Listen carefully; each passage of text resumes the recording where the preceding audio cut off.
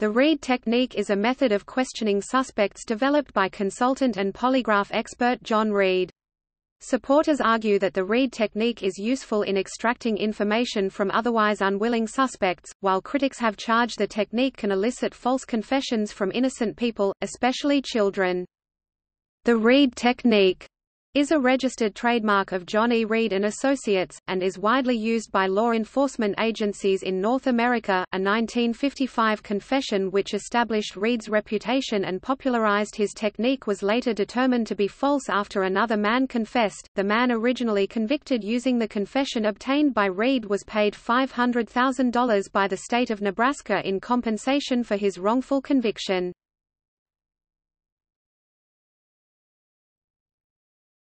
Topic: Process. The Reid technique consists of a three-phase process beginning with fact analysis, followed by the behavior analysis interview a non-accusatory interview designed to develop investigative and behavioral information, followed when appropriate by the Reid nine steps of interrogation. Individuals should only be interrogated when the information developed from the interview and investigation indicate that the subject is involved in the commission of the crime. In the Reid technique, interrogation is an accusatory process in which the investigator tells the suspect that the results of the investigation clearly indicate that they did commit the crime in question. The interrogation is in the form of a monologue presented by the investigator rather than a question and answer format. The demeanor of the investigator during the course of an interrogation is ideally understanding, patient, and non-demeaning. The Reid technique user's goal is to make the suspect gradually more comfortable with telling the truth. This is accomplished by the investigators first imagining and then offering the suspect various psychological constructs as justification for their behavior. For example, an admission of guilt might be prompted by the question, did you plan this out or did it just happen on the spur of the moment? This is called an alternative question which is based on an implicit assumption of guilt. The subject, of course, always has a third choice which is to deny any involvement at all. Critics regard this strategy as hazardous, arguing that it is subject to confirmation bias likely to reinforce inaccurate beliefs or assumptions and may lead to prematurely narrowing an investigation.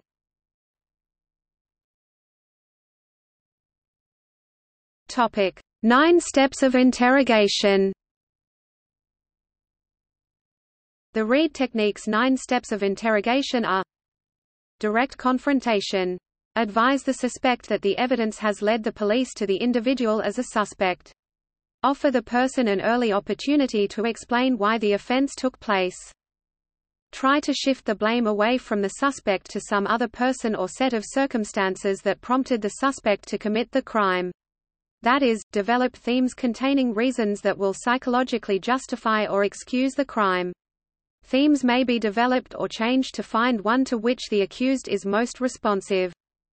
Try to minimize the frequency of suspect denials. At this point, the accused will often give a reason why he or she did not or could not commit the crime. Try to use this to move towards the acknowledgement of what they did. Reinforce sincerity to ensure that the suspect is receptive. The suspect will become quieter and listen. Move the theme of the discussion towards offering alternatives. If the suspect cries at this point, infer guilt.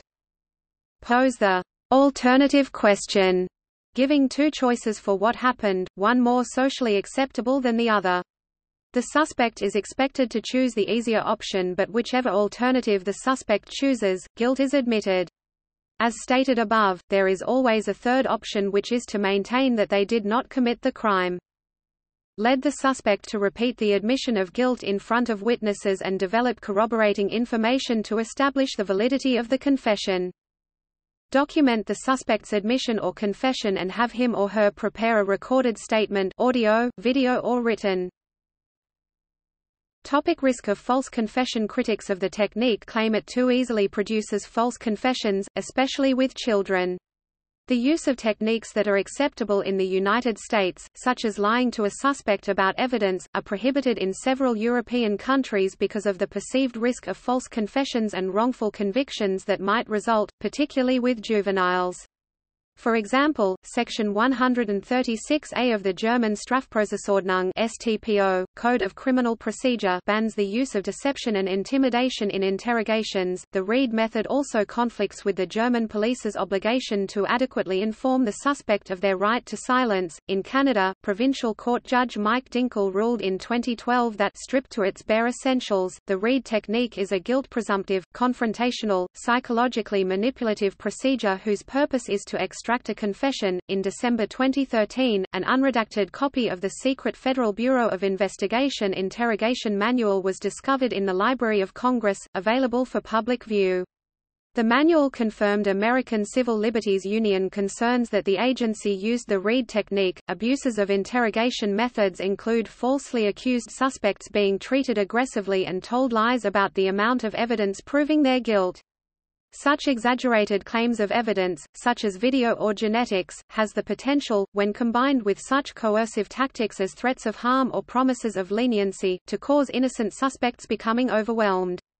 In 2003, an innocent man who repeated he was not guilty and was on a bus at the time the robbery in question occurred, successfully sued the Hamilton Police Service. In 2015, eight organizations including John E. Reid and Associates settled with Juan Rivera, who was wrongfully convicted of the 1992 rape and murder of 11-year-old Holly Staker. A number of pieces of evidence excluded Rivera, including DNA from the rape kit and the report from the electronic ankle monitor he was wearing at the time while awaiting trial for a non-violent burglary. However, he confessed after being interrogated by the police several days after taking two polygraph examinations at Reid and Associates. After his exoneration, Rivera filed a suit for false arrest and malicious prosecution. The case was settled out of court with John E. Reid and Associates paying $2 million.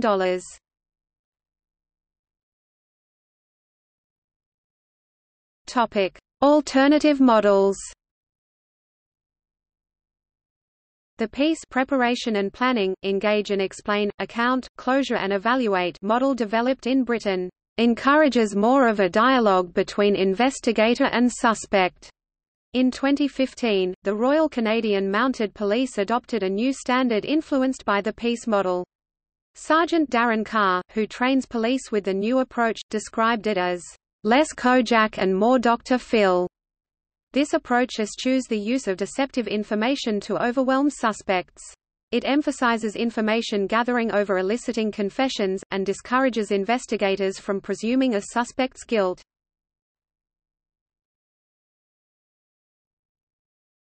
Topic. See also. Loaded question. Suggestive question